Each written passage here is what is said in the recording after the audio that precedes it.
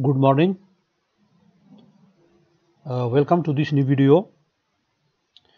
Uh, after discussing the consumer's problem in uh, video number 439 and the indirect utility function and the expenditure functions in uh, videos number 440 and 441 respectively, it is important now that we elaborate on the links between the marginal rate of substitution uh, and uh, the marginal utilities. So let me introduce the idea. If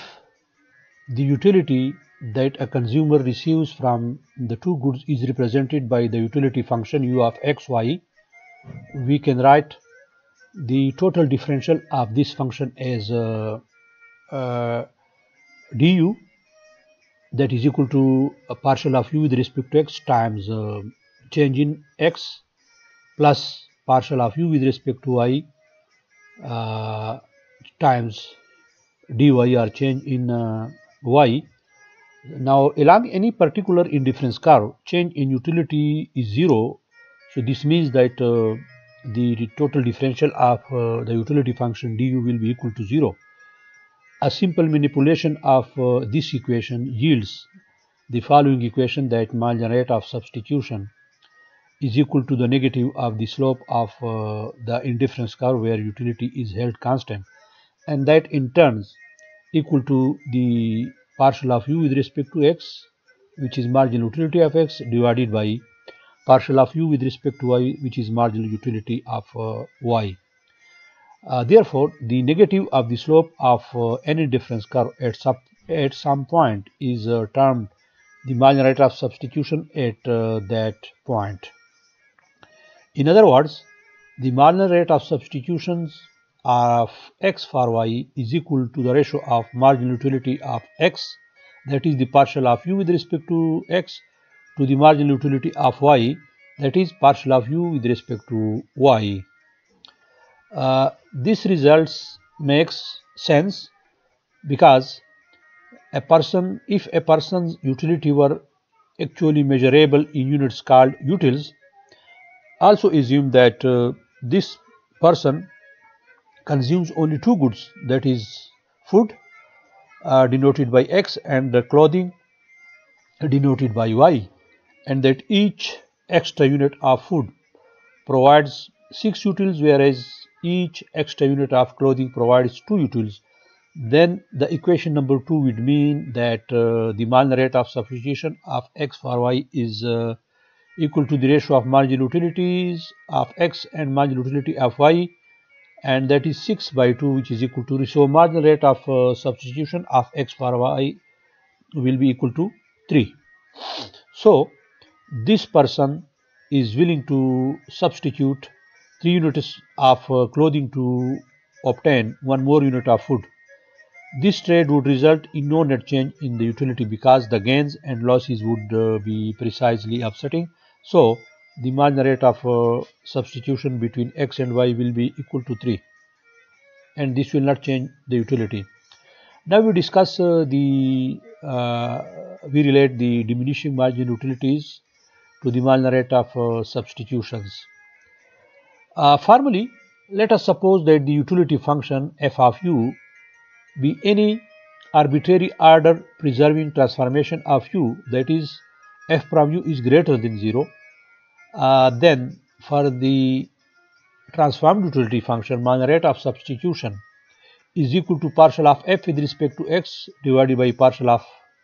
f with respect to dy and that is equal to f of x times partial of u with respect to x whole divided by f prime u times partial of u with respect to dy and that is equal to partial of u with respect to x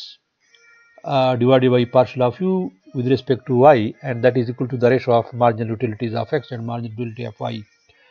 So this is the marginal rate of substitution for the original function u that the f of prime u terms cancel out shows the marginal rate of substitution is independent of how utility is measured. Uh, we know that if utility is given by u which is a function of x and y then Marginal rate of substitution is equal to the partial of uh, u with respect to x divided by partial of u with respect to y. So these are shown by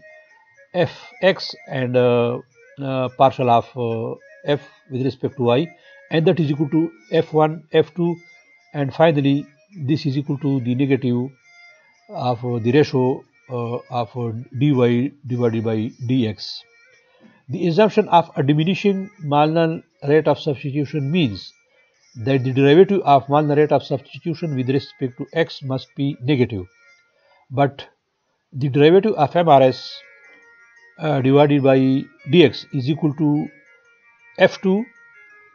uh, times f11 plus f12 times dy by dx minus f1 into f21 plus f22 times dy dx whole divided by f2 square. uh, using the fact that uh, f1 divided by f2 is equal to the negative of dy or dx,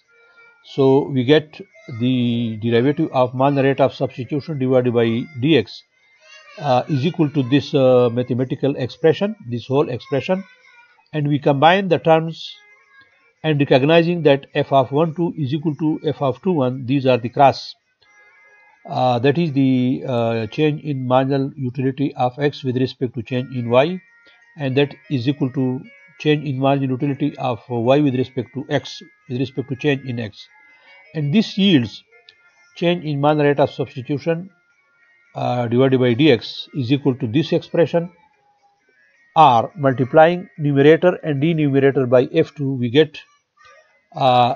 change in MRS due to a unit change in x is equal to this mathematical expression or uh, statement. Uh, now, now, if we assume that uh, the marginal utility of uh, x2 or the y good is positive, then marginal rate of substitution will diminish as long as uh, as long as uh, f2 square f11 minus f1 f2 f12 plus f1 square f22 is less than 0 it means that uh, change in marginal rate of substitution due to change in x will be equal to 0 if the numerator is uh, negative. So if we assume that uh, f2 is greater than 0 then the marginal rate of substitution will diminish as long as this expression is less than 0. Uh, this figure shows uh, example of uh, some utility functions. There are four types of indifference curves. Uh, this panel A shows uh,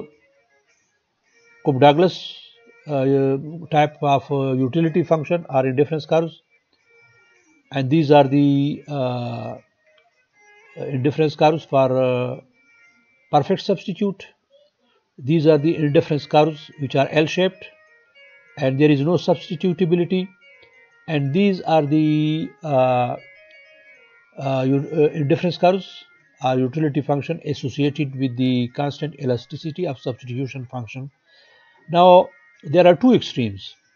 This panel C shows no substitutability between uh, x and y. Whereas uh, in this uh, panel there is perfect substitutability between x and y and uh, in panel A and uh, D there are uh, relatively low substitutability. There is substitutability between x and y but that is not perfect. That is less than perfect. Suppose utility is a function of n goods that is denoted by a function u of x1, x2 up to xn, the total differential of this expression is uh, equal to du that is equal to uh, partial of u with respect to x1 times dx1 plus partial of u with respect to x2 uh, dx2 plus up to partial of u with respect to partial of xn times dxn. Uh, since as before we can find that MRS between any two goods by setting du equal to 0 uh, then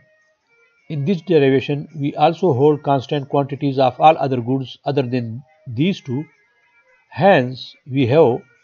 that uh, du is equal to total differential of utility function du is equal to partial of u with respect to x1 times dx1 plus partial of u with respect to dxj times dxj is equal to 0, after some algebraic manipulation, we get that marginal rate of substitution of xi for xj uh, is equal to the negative of the uh, dxj divided by